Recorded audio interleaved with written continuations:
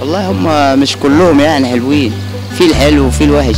كل إنسان واخد ال 24 إيراد بتوعه كاملين بس واخدهم مشكلين يا ريت حمادي تبقى مراتي مسنون وثلاث ورباع يبقوا تمسك في حموت أيوه عايشة لغاية الان في صعب إن هي بتعاملها مثلا كجارية جاية لها في البيت عندها. يعني اعملي كذا وسوي كذا. يعني في بنت تبقى ما تنزلش ترجع حاجة بيتهم. بتروح عند الحما بتمرمطها بتوديها الشارع وتوديها توفي الفران وتوديها هنا وهنا. اسأليني أنا. أنا مدوباهم اتنين اللحمة لازم تقف مع جوز بنتها.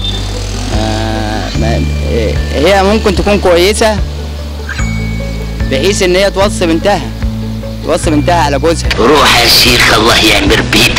في حموات كتير طيبة ومحترمة. ولو الزوجة بتحب أمها وتحترمها تحترم آه، أم جوزها. وكمان بتقولي مساء النور. في فرق بين الجيل والجيل بس يعني أعتقد التعليم بيفرق. يعني عند زمان زمان كانوا متخيلين إن الحياة صغيرة قوي هو محدود تعليمهم كان على قد البيئة اللي هم عايشين فيها. طبعا مش حاسين إن الدنيا بتبتدي تكبر بس يعني أعتقد إن يعني في فجوة آه موجودة بس بنحاول إن إحنا نتلاشاها بتعليمنا إحنا وهم كمان برضو الحموات بتوع اليومين دول أكيد يعني في نسبة تعليم عالية يعني. بلد بتاعت شهادات صحيح امسك والله الحموات زي الفل. أنا حما وبحب جوز بنتي جدا جدا جدا.